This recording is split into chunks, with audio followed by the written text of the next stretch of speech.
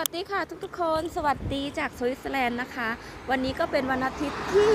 19 เมษายนนะไอ้18 เมษายนนะคะ ก็วันนี้จะมาบอกข่าวดีให้ทุกคนได้ยินได้ทราบกันนะคะ ก็คือข่าวดีของดิฉันหรือเปล่าไม่แน่ใจนะคะ ก็คือพรุ่งนี้นะคะเป็นวันที่ 19 นะคะ รัฐบาลสวิตเซอร์แลนด์นะคะ ประกาศนะคะ ให้ร้านอาหารนะคะ สามารถเปิดนั่งได้แล้วนะคะ แต่ว่า นั่งได้แค่ข้างนอกนะคะ ไม่สามารถนั่งได้ภายในร้านนะคะ ก็คือหลังจากที่ดิฉันนะคะ ต้องยืนทำงานคนเดียวเนาะอ่าคือเว้นกันกับเพื่อนนะคะ วันต่อวันนะคะ ผู้บ่าวเซลนะคะ เว้นเว้นเหมือนกับว่าวันนี้ที่ฉันยืนคนเดียวพรุ่งนี้เพื่อนอีกคนก็ยืนอะไรประมาณนี้นะคะ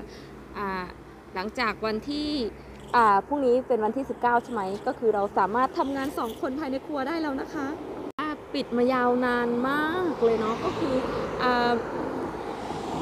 มันขายได้แค่ take away อะพรุ่งนี้มันก็จะเป็นแบบว่าอะไรดีๆสำหรับร้านอาหารที่ไม่มี take away แต่สามารถนั่งทานในร้านได้นะคะ แต่ถ้าเขามีแบบว่าข้างนอกให้นั่งอย่างเงี้ยข้างหลังเนี่ยใช่ไหมมันจะมีเก้าอี้ให้นั่งอย่างเงี้ย คือมันก็เป็นผลดีต่อร้านอาหารเนาะ เพราะว่าก่อนหน้านี้เขาให้ขายแค่ take away คือร้านเรามันนั่งทานในร้านได้ แล้วก็มีเทคเอาไว้ด้วยไงมันก็เลยดีนะคะ แต่มันจะดีกว่าถ้าเกิดเรามีลูกค้า เราก็อยากให้ทุกอย่างมันดีเร็วๆขึ้นนะเนาะคือแบบตอนนี้ผับบาร์ร้านอาหารทุกอย่างปิดหมดคือแบบมันน่าเบื่อมากเลยนะคะแรกๆมันก็อาจจะแบบว่าพยายามอยู่ให้มันแบบได้แต่ให้ได้ แต่ตอนนี้กลับกลายเป็นว่า เฮ้ยเมื่อไหร่มันจะเปิดสักทีว่าคิดถึงอะคิดถึงเพื่อนๆนะคะ คิดถึงแบบว่าลูกค้ามานั่งกินในร้านแล้วเราต้องทำกับข้าวแบบเยอะแยะวุ่นวายนะคะ เดี๋ยวพรุ่งนี้เราก็จะได้เจอแบบว่าลูกค้าที่มานั่งนอกร้านแล้วนะคะ ถึงแม้ว่าอากาศมันจะแบบว่าเนี่ยเย็นๆหนาวๆนะคะ แต่เชื่อสิถ้าร้านอาหารเปิดแล้วทุกคนอยากจะต้องไปนั่งร้านอาหารอย่างแน่นอนนะคะ เดี๋ยวดิฉันจะพาไปดูบรรยากาศร้านอาหารดิฉันนะคะ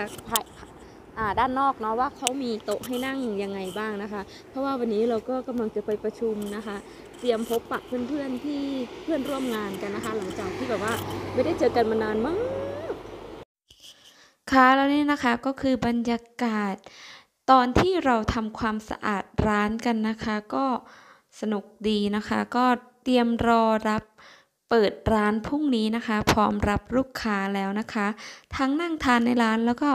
take away แม่ค่ะเอ้ย แม่ครัวอย่างเราก็ต้องแบบว่า ควงกระทะวนไปนะคะทุกๆคน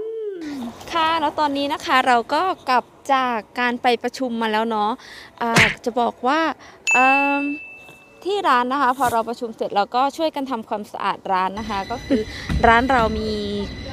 เนื้อที่ด้านนอกค่อนข้างเยอะนะคะ ก็เลย จัดโต๊ะได้เยอะนะคะ นี่ก็เอาวิวสวยๆมาให้เพื่อนๆดูด้วยนะ เป็นโบสถ์นะคะ ขนาดใหญ่นะ แต่เรายังไม่เคยเข้าไปเลยนะ พอดีทางกลับบ้านนะคะ ก็เลยแวะ เอาดอกไม้สวยๆนะคะ มาฝากเนาะก็คือนั่นแหละค่ะก็พรุ่งนี้ก็เริ่มทำงานได้แล้วนะคะ ก็จะบอกว่าไม่รู้จะดีใจหรือ หรือหรือยังไงหรือไม่รู้ แต่ว่าเราก็ได้เจอเพื่อนมีเพื่อนทำงานแล้วก็ดีใจนะคะ มีคนกินข้าวกลางวันเป็นเพื่อนแล้วเนาะค่ะวันนี้ก็ไม่มีอะไรมากนะ ก็แค่มาอัปเดตให้เพื่อนๆได้ทราบกันเฉยๆนะคะว่าที่ซูริกนะคะ ตอนนี้เขาก็เปิดร้านอาหารให้นั่งด้านนอกได้แล้วนะคะ ก็ บาร์ก็น่าจะเปิดได้หรือเปล่าไม่แน่ใจนะ แต่ว่าต้องนั่งด้านนอกนะคะ ไม่สามารถที่จะนั่งในร้านได้นะคะ ก็รอดูต่อไปนะคะ ถ้าเกิดอ